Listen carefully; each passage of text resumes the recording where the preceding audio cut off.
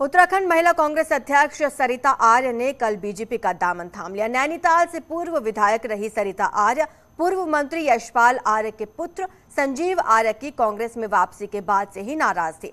संजीव नैनीताल से विधायक रह चुके हैं, वहीं सरिता आर्य भी नैनीताल से विधायक रह चुकी हैं। बीजेपी नैनीताल सीट से अपना उम्मीदवार उन्हें बना सकती है। सरिता आर्य ने कहा कि कांग्रेस में महिलाओं का सम्मान नहीं है और ना ही महिलाओं को टिकट दिया जा रहा है। और बीजेपी में उन्होंने टिकट की बात तो की, लेकिन क्या होगा, ये पार्टी को तय करना है। वहीं सीएम धामी ने भी कहा, सरिता आर्य के बीजेपी में आने से पार्टी को मजबूती मिलेगी। हम दो महिलाएँ वहाँ पर हम लोगों को इग्नोर किया गया। और उसका आप देख रहे हैं कि मुझे यहाँ पे सम्मान दिया जा रहा है।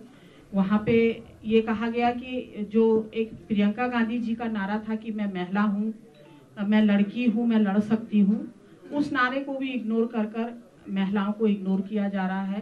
पार्टी में टिकट नहीं दिए जा रहे हैं। सरिता जी, हमारी बहुत वरिष्ठ नेता हैं और लंबे समय से गरीब वर्ग के लोगों में और शोषितों, वंचितों के लिए लगातार संघर्ष करती रही हैं और मातृशक्ति के लिए उनका बहुत बड़ा योगदान है पूरे प्रदेश के अंदर। और उन्होंने ये अपना फैसला लिया कि, अपना निर्णय किया कि वो भारतीय जनता पार्टी में शामिल हो रही हैं। हम उनका स्वागत करते हैं और निश्चित रूप से उनके पार्टी में आने से हमारी पार्टी को हर क्षेत्र में, हर दिशा में एक मजबूती प्रदान होगी। गंगोत्री सीट से आम आदमी पार्टी के अजय कोठियाल लगातार बीजेपी और कांग्रेस पर हमला कर रहे हैं और बड़े चेहरों को लड़ने की चुनौती दे रहे हैं। वहीं अब बीजेपी और कांग्रेस ने भी तंज कसना शुरू कर दिया है। गंगोत्री सीट राज्य की सबसे हॉट सीट मानी जाती है। माना जाता है, जिस पार्टी का प्रत्याशी यहाँ से चुनाव जीतता है, उस पार्टी की ही सरकार बनती है। आम आदमी पार्टी ने मिथक के महत्व को समझते हुए इस विधानसभा से अपने सीएम कैंडिडेट अजय कोठियाल पर दांव खेला है। और अब वो बीजेपी और कांग्रेस के सीएम चेहरों को यहाँ से चुनाव लड़ने की चुनौती दे रहे हैं। हरीश रावत जी से विनती करना चाहते हैं कि वो आए और उत्तराखंड में इस बार जो चुनाव हो रहे हैं, उसके लिए गंगोत्री विधानसभा से लड़े साथ में हम श्री पुष्कर सिंह धामी जी, जो भारतीय जनता पार्टी के चेहरे हैं, मुख्यमंत्री के, हम उनसे भी विनती करना चाहते हैं कि वो भी आए और गंगोत्री से इस बार का चुनाव लड़े।